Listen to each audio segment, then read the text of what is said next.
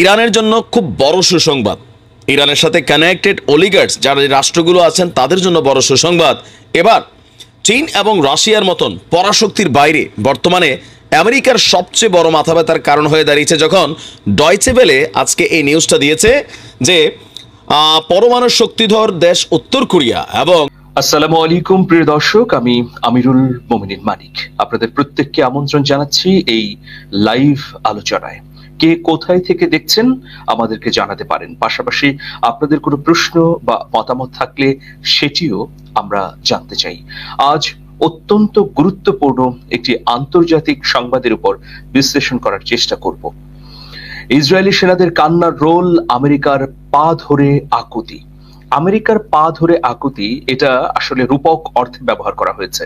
আমরা যদি পুরো সংবাদটা আপনাদের সামনে উপস্থাপন করি বা পর্যালোচনা করি, তখনই পরিষ্কার হবে যে আসলে কেন এটা বলা হচ্ছে।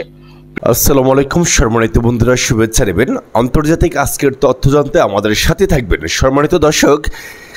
ইরানের পক্ষে দাঁড়িয়েছে উত্তর কোরিয়ার খিম কি হচ্ছে? বর্তমানে এই বিষয় নিয়ে তথ্য আছে আজকের এই নিউজে। সম্মানিত দর্শক, বর্তমানে ইসালি সেনাদের কান্নার রোল আমেরিকার পা ধরে আকুতি, এই বিষয় নিয়ে তথ্য আছে। এমনকি আমরা দেখতে পাবো যে ইরানের পাশে দাঁড়িয়ে আছে উত্তর কোরিয়ার খিম। শেষ পর্যায়ে ইসরায়েলি সেনাদের কান্নারোল বিভিন্ন প্রসঙ্গ নিয়ে তথ্য আছে আজকের এই নিউজে। আজকের এই ভিডিওতে তথ্য দিয়েছে দক্ষিণ কোরিয়া থেকে নাইম ভাই এবং তথ্য দিয়েছে সেন্স টিভি থেকে। সম্মানিত দর্শক, আমরা কথা বলাচ্ছি না, চলে যাচ্ছে এসকেনে সারা বিশ্বের আরব অধিপতিরা যখন নিজেদের বিবেক, নিজেদের জ্ঞান, নিজেদের প্রজ্ঞা, নিজেদের সম্পদ অন্যের তাবেদারিতে ব্যস্ত, ঠিক তখনই শিয়া মতাবলম্বী দেশ ইরান, এই মুহূর্তে সারা বাংলাদেশের না, সারা পৃথিবীর সুন্নিদের কাছেও এই মুহূর্তে শ্রদ্ধার একটা রাষ্ট্র কিন্তু ইরান।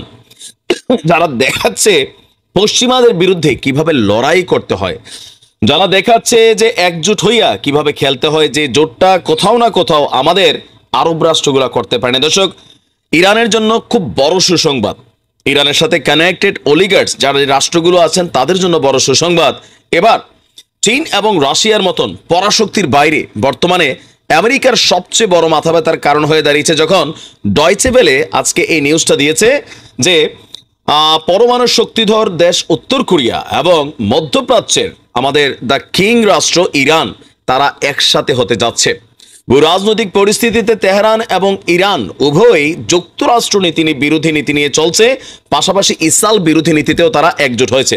এমন পরিস্থিতিতে এই দুই দেশের জোট নিয়ে শঙ্কিত ন্যাটো, ইসরায়েল এবং কি বাকি রাষ্ট্রগুলো। শুধু তাই নয়, এই দুই দেশের অলরেডি কিছু গোপন বৈঠক হয়েছে, যেখানে পরমাণু কৌশল নিয়ে এমনকি ড্রোন, ক্ষেপণাস্ত্র এগুলাকে আপডেট করা নিয়ে পারস্পরিক তারা সহযোগিতা করবে। উত্তর কোরিয়া তো জানেনি। পারমাণবিক জিনিস টিনিস বানাইয়া পুরো বিশ্বরে একটা পয়েন্ট নিয়ে ফালাই দিচ্ছে জার্মান সংবাদ মাধ্যম ডয়চে ভেলের এক প্রতিবেদনে বলা হয়েছে, বিশ্ব রাজনীতিতে মার্কিন প্রভাব মোকাবেলায় নিজেদের মধ্যে পরমাণু এবং ড্রোন বিষয়ক তথ্য বিনিময় করবে ইরান এবং উত্তর কোরিয়া। পাশাপাশি বিশ্ব রাজনীতিতে নিজেকে প্রাসঙ্গিক করে তুলতে রাশিয়া এবং চীনের বাইরে নতুন মিত্র খুঁজছিল এতদিন উত্তর কোরিয়া, আর এখন মধ্যপ্রাচ্যের প্রবল মার্কিন বিরোধীদের শক্তিশালী দেশ ইরানের উপরই আস্থা রেখেছে আপনার উত্তর কোরিয়া। আপনার উত্তর কোরিয়া মনে করছে আমেরিকার বিরোধিতা এবং ইরানের পাশে দাঁড়ানোর একটা ভালো সুযোগ তাদের সামনে এসেছে। পাশাপাশি তেহরানের কাছেও অস্ত্র ও সামরিক প্রযুক্তি বিক্রি করার একটা সুযোগ পেয়েছে উত্তর কোরিয়া। দুই দেশের উপরই আমেরিকা এবং পশ্চিমারা নিষেধাজ্ঞা দিয়ে রেখেছে, যার মধ্যেই কিছুটা আর্থিক সুবিধা এখন পাবে যদি দুইটা দেশ একে অন্যের সাথে কানেক্টেড হয়। ইরানে একটি উচ্চ পর্যায়ের বাণিজ্য এবং আর্থিক প্রতিনিধি দল পাঠিয়েছে উত্তর কোরিয়া। আর এই নিয়ে দুই দেশই কি আলোচনা হয়েছে, কি কি সমঝোতা হয়েছে, মুখ বন্ধ রাখলেও ডয়চেবেলের প্রতিবেদন বলছে, সামরিক প্রযুক্তি, পরমাণু অস্ত্র এবং ব্যালিস্টিক ক্ষেপণাস্ত্রকে আরও শক্তিশালী প্লাস তথ্য আদান প্রদান নিজেদের ডেভেলপমেন্ট এগুলোর উপরেই কিন্তু তারা সেই সমঝোতা বা আলোচনাগুলো চলেছে। বলা হচ্ছে যে গোপনে অনেক দিন যাবৎ ইরান এবং উত্তর কোরিয়ার সম্পর্ক বজায় রেখেছিল। ধর্মতান্ত্রিক দুটি মানে ইরান ধর্মতান্ত্রিক দেশ হলেও আর উত্তর কোরিয়া কমিউনিস্ট হলেও দুই দেশের একটা প্রধান এসে মিলেছে যে পশ্চিমারা এই দুইটা দেশকে কোথাও না কোথাও দীর্ঘদিন যাবৎ নানান ধরনের নিষেধাজ্ঞা সিস্টেমিক বাটাফালাই এদের অর্থনীতিকে পঙ্গু করে দিয়েছিল। অনেকের মতে উত্তর কোরিয়া নিজে যেসব অস্ত্র তৈরি করেছে তা ইরানকে দিতে যাচ্ছে। পরমাণু পরীক্ষা থেকে পাওয়া তথ্য তারা ইরানকে দিবে, তারা মহাকাশ প্রযুক্তিও তারা শেয়ার করবে। এছাড়া দুই দেশই ড্রোন প্রযুক্তি নিয়ে উৎসাহী এর বাহিরে উত্তর কোরিয়ার কাছ থেকে ইরান, উত্তর কোরিয়ার কাছে ইরান থেকে তেল পাওয়াটাও খুব জরুরি। ইরান, রাশিয়ার মাধ্যমে এই তেল উত্তর কোরিয়ার কাছে পৌঁছে দেওয়ার চেষ্টা করতে পারে। দ্যাটস দ্য গুড ডিসিশন এভাবেই কিন্তু শক্তিশালী অবস্থান নিজেদের করে নিতে হবে, নয়তো বাকিরাই চা ওই স্যাংশন ফ্যাংশন এইসব ডট টট দেখাইয়া একটা কাইত করতে চাবে।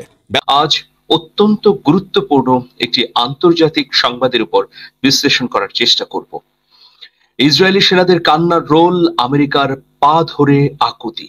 আমেরিকার পা ধরে আকুতি, এটা আসলে রূপক অর্থে ব্যবহার করা হয়েছে। আমরা যদি পুরো সংবাদটা আপনাদের সামনে উপস্থাপন করি বা পর্যালোচনা করি, তখনই পরিষ্কার হবে যে আসলে কেন এটা বলা হচ্ছে।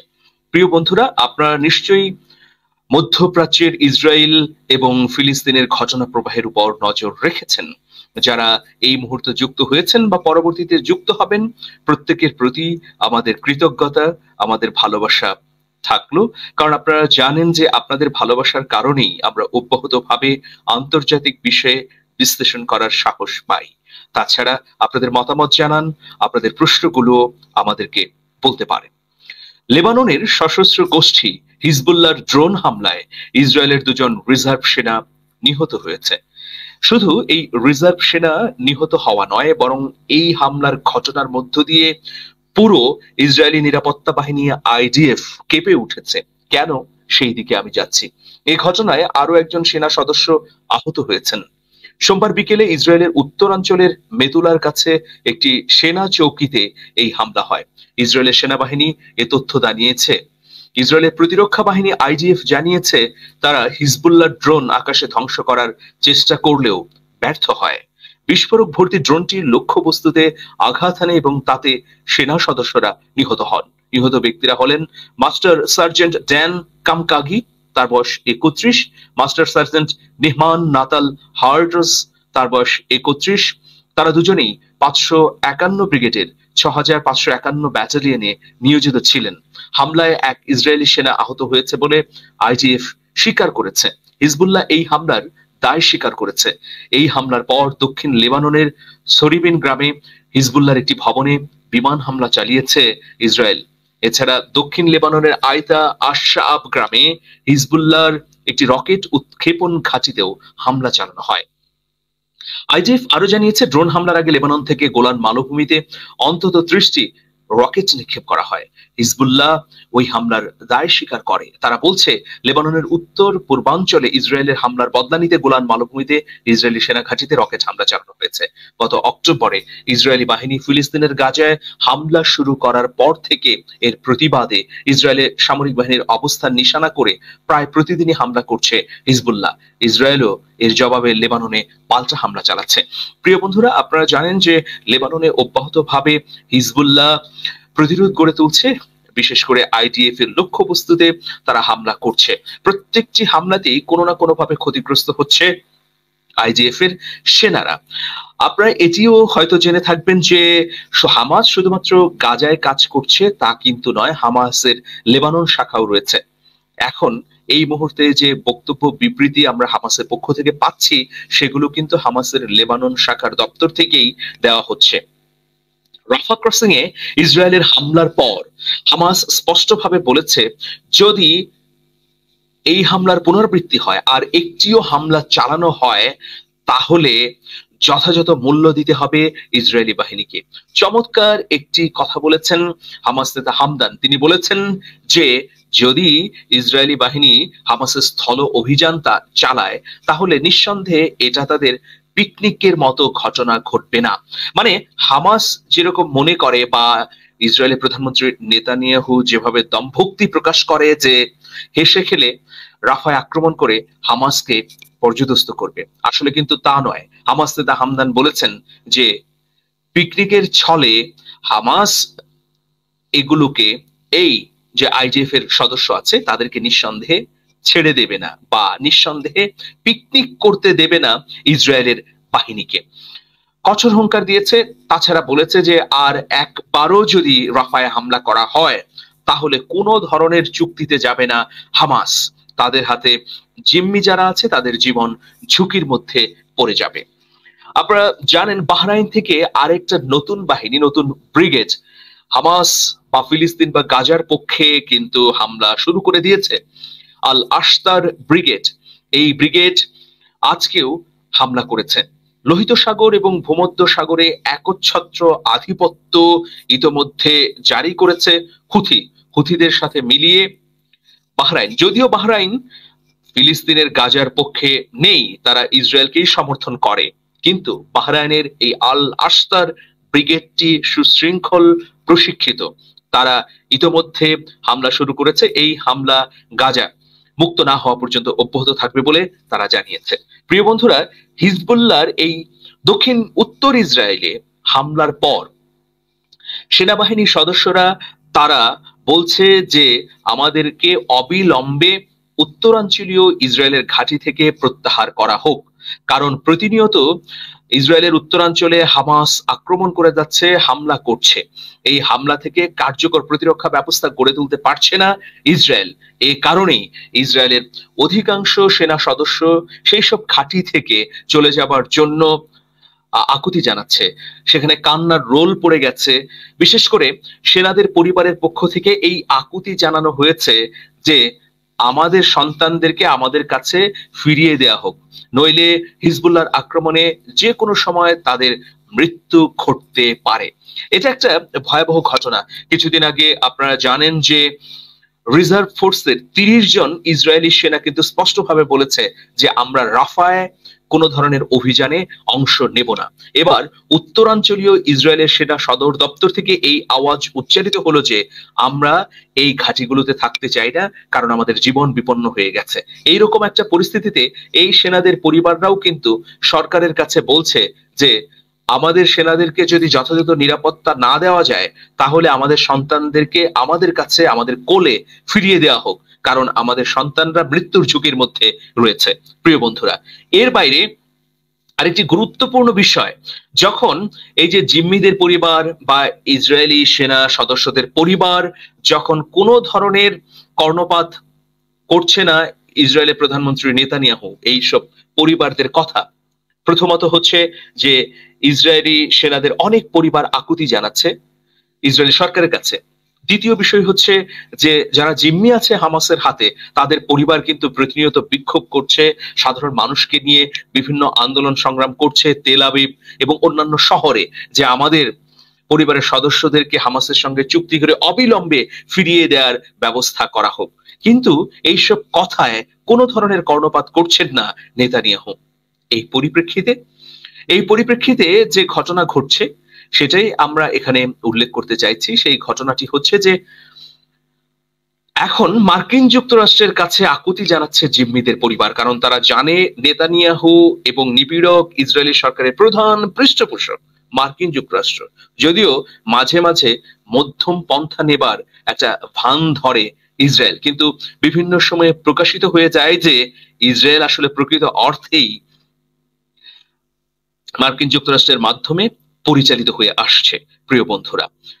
সেই বিষয়টি হচ্ছে যে, ফিলিস্তিনের গাজায় হামাসের হাতে জিম্মি থাকা ব্যক্তিদের দেশে ফেরাতে যুক্তরাষ্ট্র সহ কয়েকটি দেশের কাছে সহায়তা চেয়েছে তাদের পরিবার। এই লক্ষ্যে হামাসের সঙ্গে একটি চুক্তিতে যেতে ইসরায়েল সরকারের উপর চাপ দেওয়ার জন্য ওই দেশগুলোর প্রতি আকুল আহ্বান জানিয়েছেন তারা। এক বিবৃতিতে হামাস জানিয়েছে, মধ্যস্থতাকারী দেশ মিশর ও কাতারের প্রস্তাবিত একটি যুদ্ধ বিরতি ও হামাসের হাতে থাকা জিম্মিদের পরিবারে ফিরিয়ে দিতে আমরা চুক্তি করতে অঙ্গীকারাবদ্ধ, আমরা চুক্তি করতে চাই। কিন্তু এখন পর্যন্ত ইসরায়েল সেই ধরনের চুক্তিতে রাজি হয়নি। হামাস যে ধরনের চুক্তির কথা বলছে। মঙ্গলবার হামাসের হাতে জিম্মি থাকা ব্যক্তিদের পরিবারের সংগঠন hostage and missing families forum বিদেশি সরকারের প্রতি আহ্বান জানায়। গত বছর সাত অক্টোবর ইসরায়েলে ঝুঁকে হামাস হামলা চালায়। ওই হামলায় এক হাজার দুইশো জন মানুষ নিহত হয়। এছাড়া ইসরায়েল থেকে প্রায় আড়াইশো জনকে জিম্মি করে নিয়ে যান হামাস সদস্যরা। জিম্মিদের মধ্যে ইসরায়েলি ছাড়াও বেশ কয়েকটি দেশের নাগরিকরা রয়েছেন। এরপর থেকে গাজায় নির্বিচারে হামলা চালিয়ে যাচ্ছে ইসরায়েলি বাহিনী। এতে নিহত হয়েছেন কমপক্ষে চৌত্রিশ হাজার আটশো চুরাশি জন। এখানে বলে রাখা ভালো যে এটা হচ্ছে সরকারি তথ্য।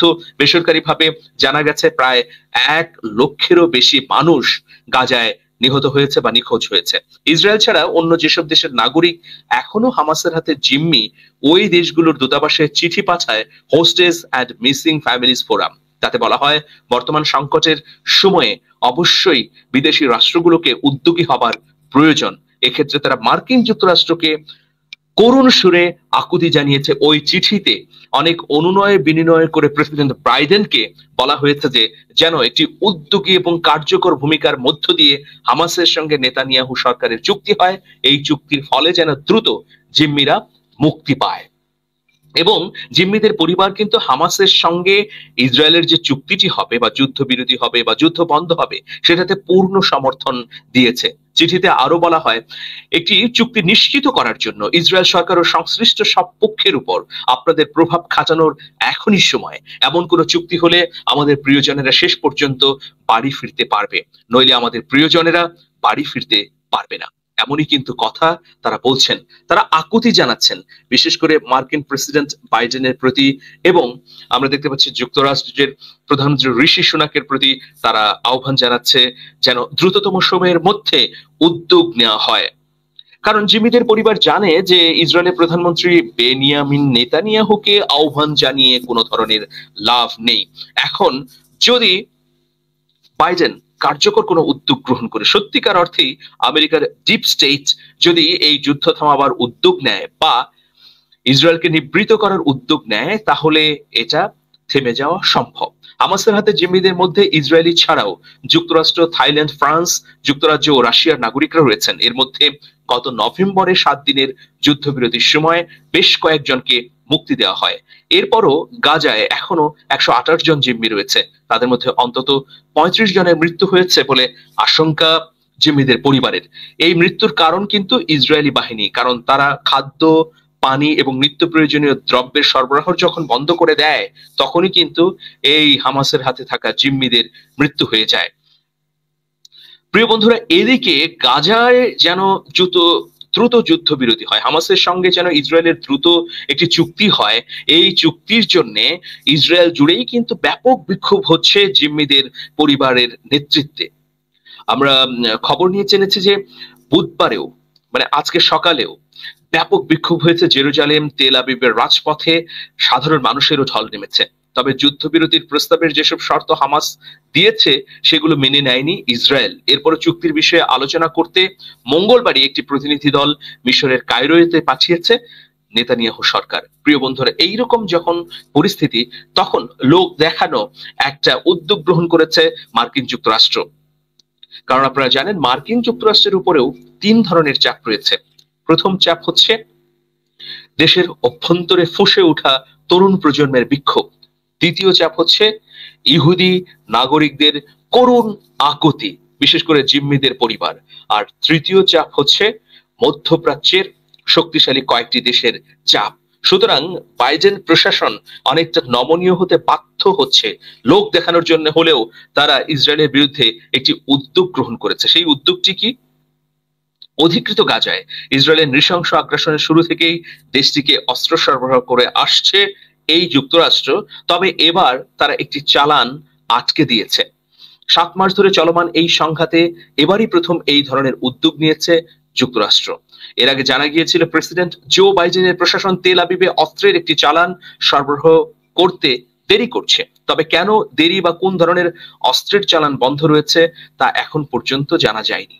বাইডেন প্রশাসনের এক কর্মকর্তা জানিয়েছেন, ওয়াশিংটনে আঠারোশোটি দুইশো পাউন্ড ও সতেরোশোটি পাঁচশো পাউন্ড মানের বোমার চালান আটকে দিয়েছে, কারণ ইসরায়েল রাফায় বড় আকারের স্থল হামলা চালানোর বিষয়ে যুক্তরাজ্যের, যুক্তরাষ্ট্রের উদ্যোগকে পুরোপুরি অ্যাভয়েড করেছে বা পুরোপুরি তোয়াক্কা করছে না।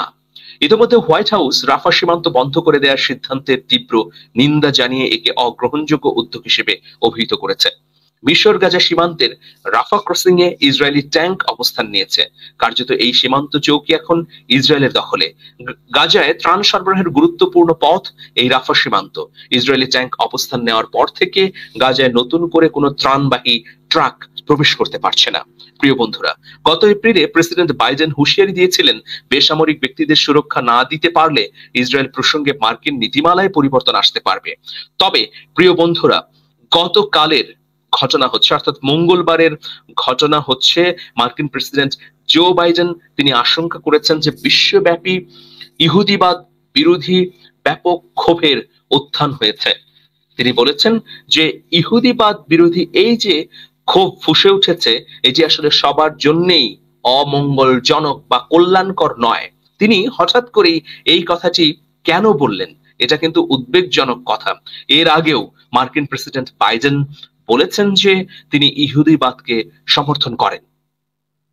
কিন্তু আমরা দেখতে পাচ্ছি যে বাইডেন প্রশাসনের যে ডিপ স্টেট রয়েছে, সেখানে যেসব ইহুদি নেতৃত্ব দেন, তার মধ্যে উল্লেখযোগ্য কয়েকজন কিন্তু উদ্বেগ প্রকাশ করে বলেছেন যে প্রধানমন্ত্রী নেতানিয়াহু যে ধরনের হত্যাযজ্ঞ চালাচ্ছেন গাজায়, সেটা অবশ্যই ইহুদিরা সমর্থন করে না। প্রধানমন্ত্রী নেতানিয়াহুর ইহুদিবাদ আর সাধারণ ইহুদিদের চেতনা এক নয় বলে বেশ কয়েকজন মার্কিন যুক্তরাষ্ট্রের প্রভাবশালী ইহুদি নেতা মন্তব্য করেছেন। কিন্তু আমরা দেখতে পাচ্ছি এর পরেও মার্কিন প্রশাসন হামলা বন্ধ করার জন্য ইসরায়েলকে কার্যকর কোনো চাপ দেয়নি। এখন এই যে জিম্মিদের পরিবার যে আকুল আকুতি জানাচ্ছে বা রূপকার্থে আমেরিকার পা যদি থাকতো, তাহলে সেটা ধরে নিরন্তরভাবে কাঁদতে থাকতো জিম্মিদের পরিবার। সেই অবস্থায় কিন্তু আমরা দেখছি। চিঠিতে যে ভাষা ব্যবহার করা হয়েছে, তা অত্যন্ত করুণ, অত্যন্ত মানবিক। কিন্তু মার্কিন প্রেসিডেন্ট বাইডেনের কানে এই মানবিক আহ্বান কি পৌঁছাবে? সেটা কিন্তু এখনই বলা যাচ্ছে না।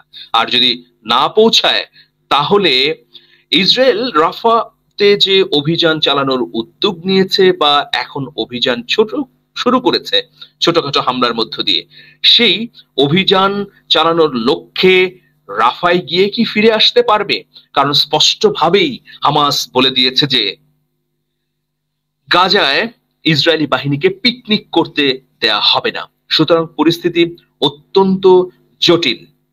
মার্কিন যুক্তরাষ্ট্রের স্টেট ডিপার্টমেন্টের একটি সূত্র বলছে যে ইসরায়েলি সেনারা ক্লান্ত হয়ে গেছে, শ্রান্ত হয়ে গেছে গত সাত মাসের যুদ্ধে। তাদের অধিকাংশ এখন বিশ্রামে যেতে চাইছে, অধিকাংশই এখন সেনাবাহিনী থেকে নিজেদেরকে দূরে সরাতে চাইছে।